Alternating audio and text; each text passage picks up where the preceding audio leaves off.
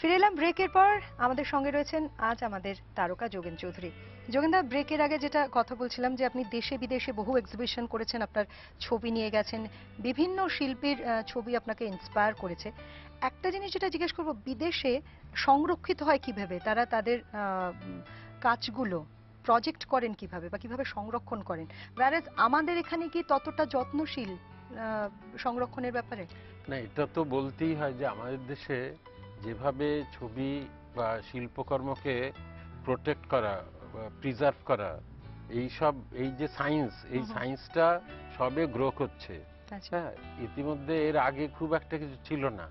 কারণ আমাদের দেশে এখনও রবীন্দ্র ভারতীতে বাষ্পবন্দি হয়ে পড়ে আছে অবনীন্দ্রনাথ ছবি। হ্যাঁ যত ছবি সেখানে সেটা কি অবস্থায় আছে সেটা বুঝবার মতো লোকও সেখানে নেই।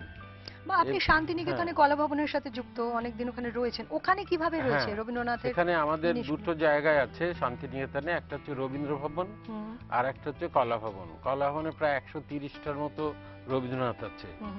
আর রবীন্দ্র ভবনে আছে প্রায় ষোলোশোর মতো।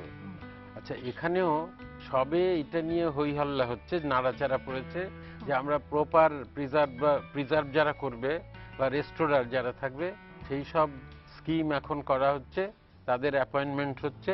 সুতরাং এতদিন এই দীর্ঘ পঞ্চাশ ষাট বছর বা তার আগের থেকেও আমাদের ওখানে কোনো সাইন্টিফিক প্রিজার্ভেশনের ব্যবস্থা ছিল না।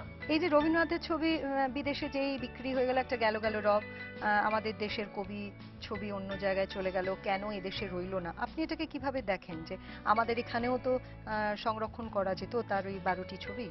আপনি কি মনে হয় যে আদপেই কি সেটা করা যেত না যেখানে রয়েছে তারা খুব যত্নশীল হয়ে ছবিগুলোকে যত্ন করে রাখবে? এর দুটো বিষয় সাইড আছে। একটা হচ্ছে যে আমরা প্রথমত একটা ব্যাপারে একটু মনক্ষুণ্ণ হয়েছিলাম। সেটা হচ্ছে যে রবীন্দ্রনাথ যেখানে প্রেজেন্ট করেছেন দান করেছেন যে জায়গায় সেই জায়গায় সেটা ছিল তার কোর কালেকশন মেজর কালেকশন সেখান থেকে সে বিক্রি করে দিচ্ছে। এটাতে আমরা হার্ট হয়েছি এবং হার্ট হওয়ার বিষয়। কাউকে একটা কিছু দান করলাম সে সেটা না রেখে কমার্শিয়ালি বিক্রি করে উপহার দিচ্ছে হিসেবে তার বন্ধু উপহারটা বিক্রি করে দিচ্ছে। এটা আমরা ভাবতে পারি না। সুতরাং সেদিক থেকে আমরা হার্ট হয়েছি এবং আমরা সত্যি সত্যি সেটা ক্রিটিসাইজ করেছি। আবার অন্য দিক থেকে ভাবতে গেলে আর একটা পয়েন্ট হচ্ছে যে একটা একটা একসঙ্গে ছবিগুলো ছিল সেটা ডিসমেন্টেলড হয়ে গেল। তার একটা ঐতিহাসিক মূল্য ছিল এক জায়গায় থাকার। আচ্ছা তারপর নেক্সট যেটা হচ্ছে যে সেগুলো ভারতবর্ষে এলেও ভারতবর্ষে কোথায় এসে রাখা হবে তার উপরে তার ইম্পর্টেন্স সেটাও যদি ভারতেরও বিভিন্ন প্রাইভেট লোকেদের হাতে চলে যেতে পারতো সেটা সবসময় তারা যে খুব যত্ন করে রাখেন তাও না। এবং আমাদের সব ইনস্টিটিউশনগুলো তা নয়। সুতরাং যদি মেজর কোথাও ধর মডার্ন গ্যালারিতে গেলে হয়তো কিছুটা যত্নের সঙ্গে থাকতো। কিন্তু সেটা যদি শান্তিনিকেতনে আসলেও আমরা তার প্রিজার্ভেশনের এখন ব্যবস্থা করছি সেসব জায়গায় হয়তো অন্য ছবিগুলো যেরকম আছে সেই রকম থাকতো। সেই রকম হতো।